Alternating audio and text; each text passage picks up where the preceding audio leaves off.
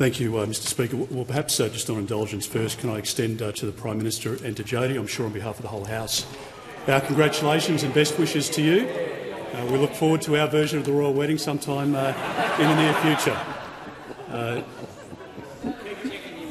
I, I'll be there throwing roses out in front of you, Prime Minister, whatever it, whatever it takes to get an invite to the gala wedding.